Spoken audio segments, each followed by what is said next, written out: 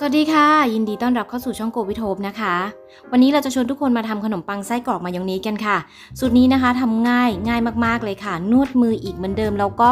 อบในหม้ออบลมร้อนอีกเช่นเคยค่ะ สูตรนี้นุ่มแล้วก็รสชาติดีมากๆนะคะ อร่อยสุดๆไปเลย ไปค่ะ เดี๋ยวเราไปดูวิธีทำกันเลย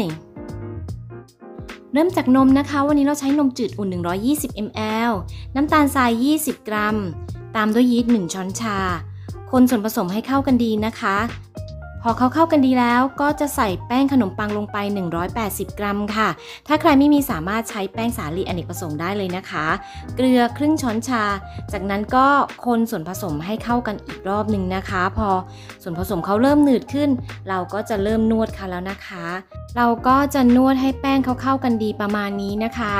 หลังจากที่แป้งเขาเข้ากันดีแล้วเดี๋ยวเราจะพักแป้งของเราไว้ก่อน 20 นาทีค่ะ เพื่อให้แป้งเขาเซตตัวดีนะคะ หาแรปมาปิดไว้ด้วย ผ่านไป 20 นาที เราก็จะนำเนยจืดนะคะ เป็นเนยอุณหภูมิห้อง 15 กรัม ใส่ลงไปแล้วก็จะนวดต่อรอบนี้เราก็จะนวดให้เขาเนียนเป็นเนื้อเดียวกันเลยนะคะ เพื่อความสะดวกในการนวดนะคะ เดี๋ยวเราจะนำแป้งโดของเราเนี่ยลงไปนวดบนซิลิโคนนะคะนวดให้เขาเนียนเป็นเนื้อเดียวกัน การนวดก็เหมือนเดิมค่ะ ดึงออกแล้วก็ดันเข้าแบบนี้ ใครสะดวกแบบไหนก็สามารถนวดได้ตามชอบเลยค่ะ หลายคนถามเข้ามาว่าเราจะฟาดแป้งฟาดยังไงนะคะ เดี๋ยวเราฟาดให้ดูนี่ค่ะ ก็ฟาดแล้วก็ดันขึ้นไปแบบนี้นะคะ จนกว่าแป้งเขาจะเข้ากัน อันนี้ก็แล้วแต่สะดวกนะคะสำหรับใครอันนี้เรามาฟาดให้ดูเฉยๆแป้งเขาก็จะได้เนียนแบบนี้นะคะ เราใช้เวลานวดแล้วฟาดเนี่ยประมาณสัก 10 นาทีนะคะ เสร็จแล้วก็ทาน้ำมันให้เรียบร้อยพักแป้งไว้จนกว่าจะขึ้นเป็น 2 เท่า ระหว่างที่เราพักแป้งเราจะมาหั่นตัวไส้กรอกของเราวันนี้เราใช้ไส้กรอกลมควันนะคะ ทั้งหมด 3 ชิ้นตัดให้ได้ 12 ชิ้นเท่า ๆกันนะคะ ตัดครึ่งแล้วก็ผ่าครึ่งอีกทีสำหรับตัวไส้กรอกเนี่ยก็แล้วแต่ชอบเลยนะคะ หรือว่าใครจะตัดแค่ผ่า 2 ก็ได้ อันนี้เราผ่า 4 นะคะ ตามชอบอีกเหมือนกันนะคะ เสร็จแล้วก็พักไว้ก่อน วันนี้นะคะเราพักแป้งไป 1 ชั่วโมงเลย เนื่องจากว่าที่นี่ฝนตกนะคะ อากาศเย็นนิดนึง ก็จะรอให้แป้งขึ้นดีนะคะ เสร็จแล้วนะคะเราก็จะมาตัดแบ่งนะคะ ทั้งหมดเนี่ยให้ได้ 12 ชิ้นเท่า ๆกันนะคะ ถ้าใครจะช่างก็ช่างได้นะทุกคนก็คือก้อนหนึ่งประมาณ 28-29 กรัมนะคะ หลังจากที่เราตัดแป้งช่างแป้งเรียบร้อยแล้วนะคะ ก็จะคลึงเขาเป็นหน้าเนียนๆแบบนี้ค่ะ เพื่อที่เวลาเราขึ้นรูปเขาจะได้ออกมาสวยงามนะคะ ต่อไปเดี๋ยวเราจะพักแป้งของเราไว้ 20 นาทีนะคะ หาผ้ามาคลุมด้วย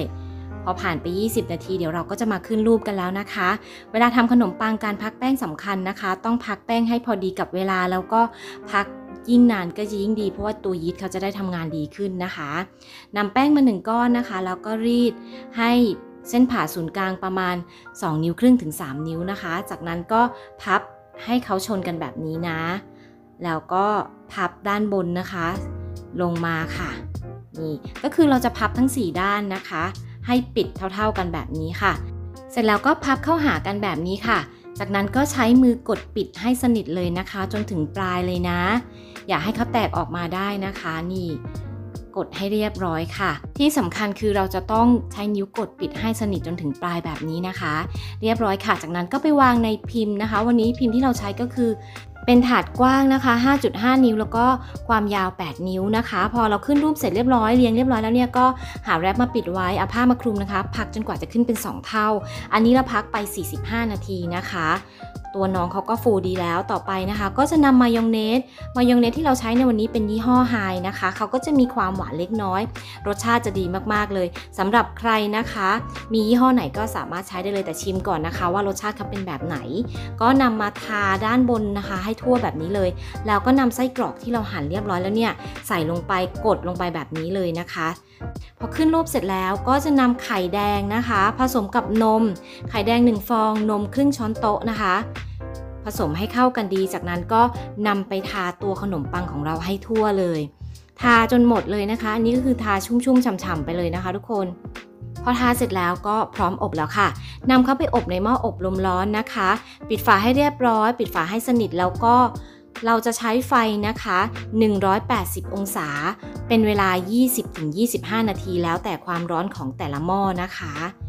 อันนี้เราอบไป 25 นาทีค่ะ ตัวน้องเขาก็สุกดีแล้ว พอเขาสุกดีแล้วก็ใช้เนยละลายจืดนะคะ ทาลงไปในขณะที่เขายังร้อนอยู่ทันที จะช่วยทำให้ตัวขนมปังของเรามีความเงา แล้วก็น่าทานมากขึ้นค่ะ เรียบร้อยค่ะ จากนั้นเราก็นำเขาออกจากความร้อนแล้วก็พักเขาไว้ให้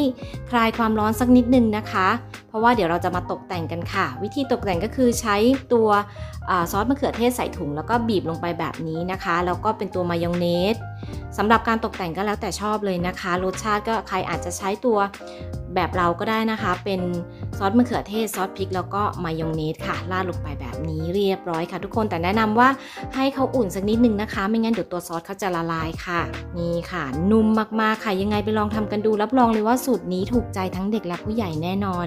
มีความนุ่มมากๆนะคะ นุ่มฉ่ำเลยแหละสำหรับตัวขนมปัง แล้วก็จะมีรสชาติของตัวมายองเนสกัดเข้าไปก็จะได้ตัวไส้กรอกด้วย รับรองเลยค่ะว่าอร่อยมากๆ ขอบคุณที่รับชมนะคะ ยังไงฝากช่องโกพิโทฝากกดไลค์กดแชร์ แล้วก็อย่าลืมกดติดตามกดกระดิ่งเพื่อจะไม่พลาดคลิปต่อไปด้วยนะคะ วันนี้ไปก่อนละค่ะ เจอกันคลิปหน้า สวัสดีค่ะ